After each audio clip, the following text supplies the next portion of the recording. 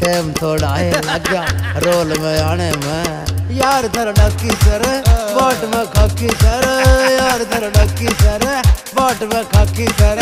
ज़िंदा ना पकड़ा जाऊँ, मर गया तो कह नहीं सकता। ज़िंदा ना पकड़ा जाऊँ, मर गया तो कह नहीं सकता।